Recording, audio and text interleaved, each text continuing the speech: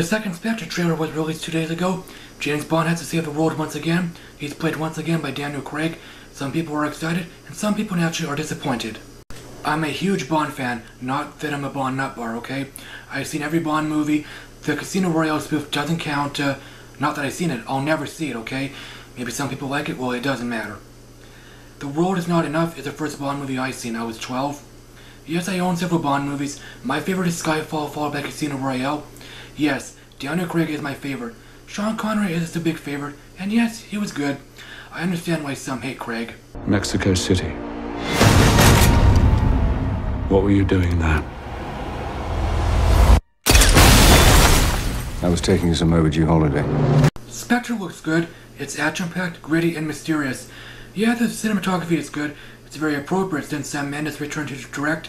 He directed Skyfall as well. It's the first Bond movie to gross a billion dollars. He recently announced he's leaving the Bond franchise. Maybe he's burnt out. Let's talk about the gritty tone. Some people are naturally disappointed with it. They feel Bond shouldn't be gritty. It should be fun. The movies should be crazy. I prefer lighthearted stuff, but I actually like this tone.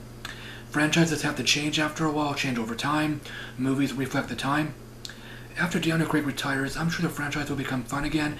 Maybe the franchise is actually becoming fun again. As dark as Skyfall was, it had some humor. Maybe Spectre will have some humor. Spectre's logo is an octopus or a squid, which is interesting because in the From Russia with Love video game, Spectre has been renamed Octopus due to legal mumbo jumbo. I think that's why Quantum was created.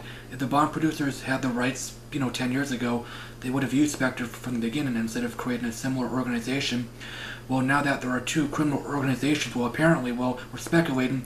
Are Spectre and Quantum the same organization? If not, are they rivals, allies? Welcome, James. You came across me so many times, yet you never saw me. What took you so long? Christoph Waltz is playing the villain. I forgot his name. It doesn't matter. It could be an alias. I think it's playing Blofeld. I won't be surprised if he gets scarred at the end and escapes to blow some more shit up. Months ago, I read an interview with Barbara Broccoli. She said the new Blofeld will have to be very different from the old Blofeld because Dr. Evil ruined the character. He's so memorable. Mwah! Okay, I'll never do that again. It was me, James.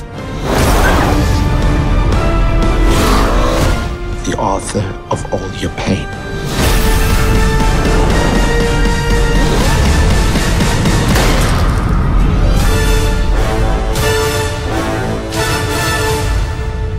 So yeah, Spectre looks good. It should be fun.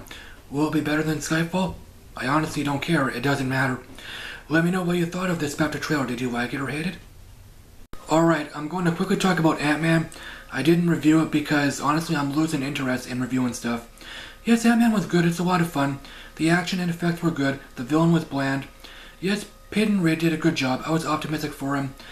Yeah, Ant-Man would have been better if Edgar Wright stayed on. It's a shame he quit. I knew about the bonus scenes, but I didn't watch them. Yes, I looked them up online. As always, thanks for watching, guys. I will shoot my next Q&A tomorrow. It will be shorter than the last one.